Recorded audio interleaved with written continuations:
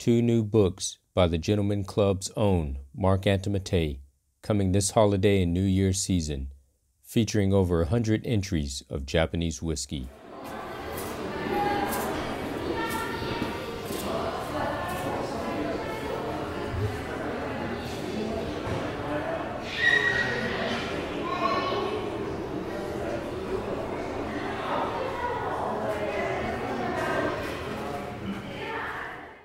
Just in the outskirts of Osaka Prefecture, right along the Kyoto border, there is a town called Shimamoto, and this is where Japanese whiskey was born.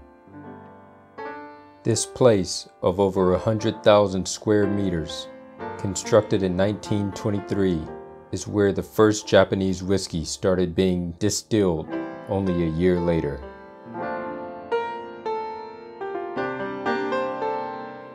The founder of this place, Shinjiro Torii, said, quote, I want to create a perfect whiskey that reflects the nature of Japan and the spirit of Japanese craftsmanship.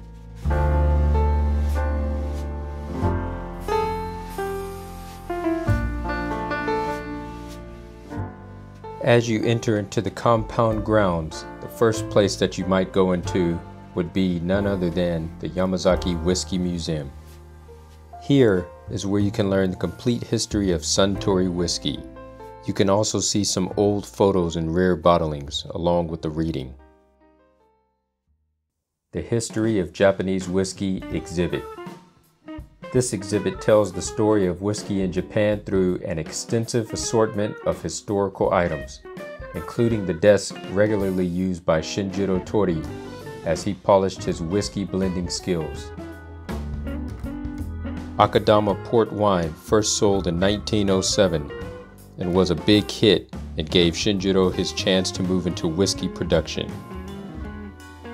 Setting the stage for the history of Japanese whiskey, Shinjiro Torii, founder of Suntory and his passion to create a Japanese whiskey that suits the Japanese palate was created. Suntory Shirofuda, the first Japanese whiskey, was created in 1929 get a close-up look at its initial sell bottle.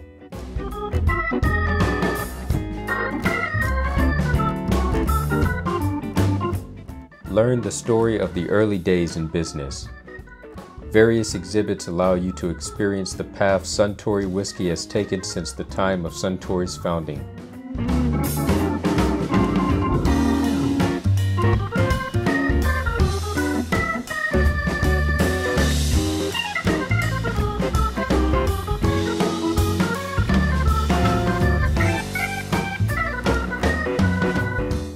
Master blenders of past and present are the ones who direct the entire whiskey production process and determine the final quality. And they truly are the arbiters of quality and flavor.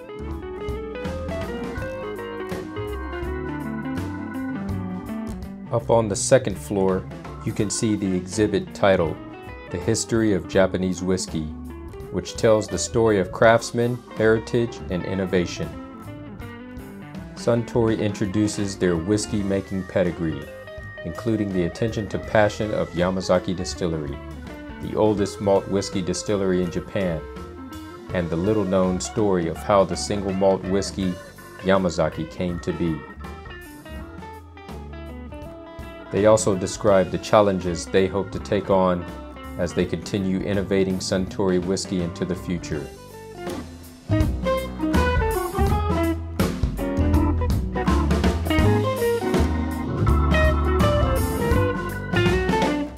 Anecdotes from the creation of the single malt whiskey Yamazaki. Learn more about Yamazaki from the story of its birth to the complete attention to detail in bottle and label design.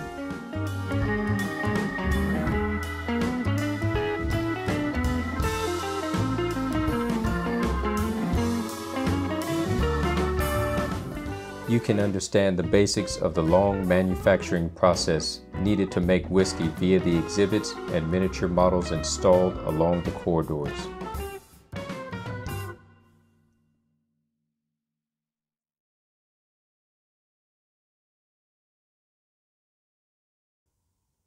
If you are scheduled to take the distillery tour, the second floor is also the meeting place where everyone gathers before heading out. Whether you take the distillery tour or visit the museum, or if you happen to manage to do both, your visit to the distillery as a whole is probably going to end here, back on the first floor in the Whiskey Library. Inside of the Whiskey Library, you could see a wall of several thousand bottles of variety of whiskeys that will be the highlight of your visit. A large exhibit area with a double height features the pot still and the washback that were used at the distillery for many years, giving you a sense of the living spirit of whiskey making.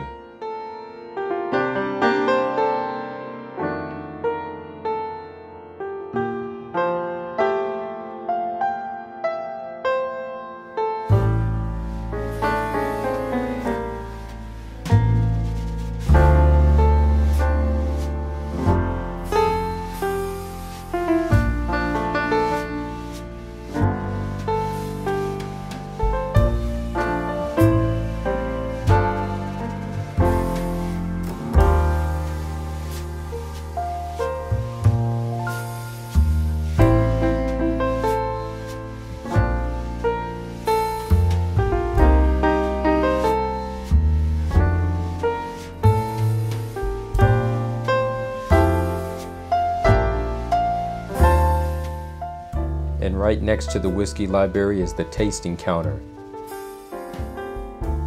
A paid bar where you can enjoy some of your favorite drinks, including the Yamazaki brand. Some 30 varieties of whiskeys from all around the world are available, as well as limited editions and component whiskeys unique to Yamazaki Distillery. Sample a range of whiskeys, savoring the differences in their flavors and don't miss this chance to discover the whiskey of your choice.